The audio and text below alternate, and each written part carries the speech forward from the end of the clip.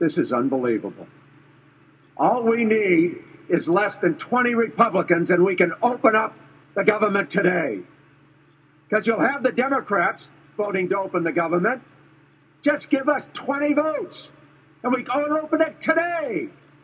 And instead, because of the Ted Cruz Tea Party faction within your caucus that somehow has managed to intimidate the Republican leadership, you're willing to bring this country to its knees, to furlough 800,000 federal employees, to cause suffering around the country, and to, and to cause billions of dollars in economic damage to our economy. How can you do this? This is so wrong. Today, open it. Give us 20 Republican votes.